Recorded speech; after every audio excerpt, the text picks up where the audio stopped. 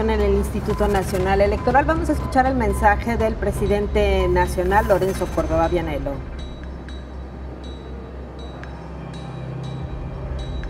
Las intervenciones de los integrantes del Consejo General con motivo de la jornada electoral. Muchas gracias, eh, señor secretario. Colegas, permítame intervenir en primera instancia. Estamos iniciando un día histórico para el futuro de la democracia mexicana. La jornada electoral es el día en el que la ciudadanía, en condiciones de absoluta igualdad, elige a quienes van a representarla y gobernarla, ejerce el poder del sufragio para evaluar el desempeño de sus gobiernos y es el único día en el que la opinión de un campesino, una maestra, un profesionista, de un trabajador o de un empresario vale lo mismo y todas y todos somos iguales ante las urnas.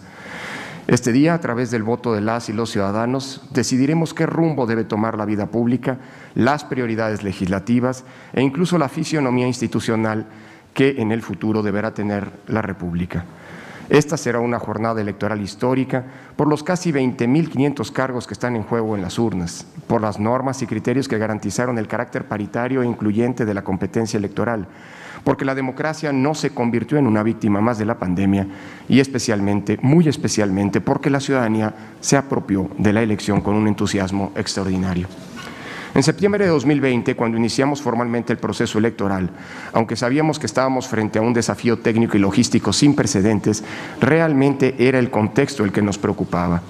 Teníamos claro que en estas elecciones ya no estaba a prueba el modelo electoral que hemos desarrollado a lo largo de 30 años, sino la madurez democrática de actores y partidos políticos, de las organizaciones de la sociedad civil e incluso de la ciudadanía, para participar en la recreación del proceso electoral más grande de la historia y en uno de los momentos más desafiantes para la convivencia en clave democrática en México y en el mundo derivado de la pandemia.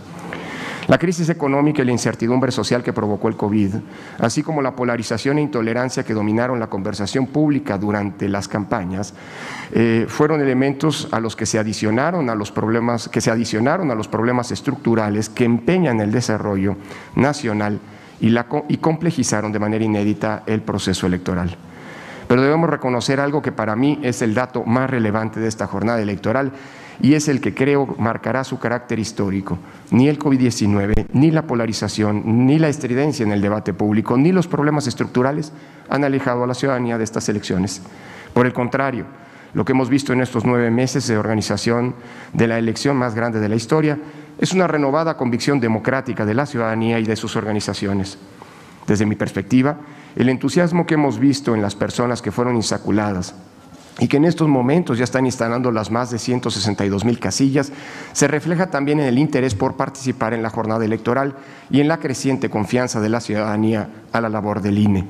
En efecto, desde hace varias semanas los estudios de opinión coincidieron en dos cosas que es probable que en México que México experimente hoy el porcentaje más alto de participación en las urnas en una elección intermedia, así lo esperamos, y dos, que el INE se ha convertido en la institución civil del Estado mexicano con mayores niveles de aprobación entre la población.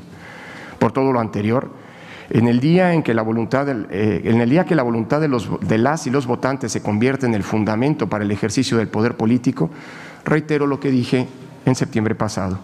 La democracia mexicana sintetiza la lucha de millones de mujeres y hombres que durante varias décadas dieron su vida, su talento y su trabajo para construir una patria plural, incluyente y cada vez más justa.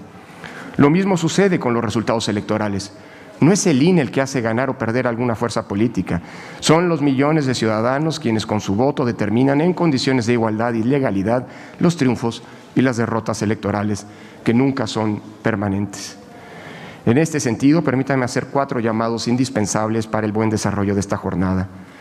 El primero es para que los 93.5 millones de potenciales electores inscritos en la lista nominal acudan a su casa.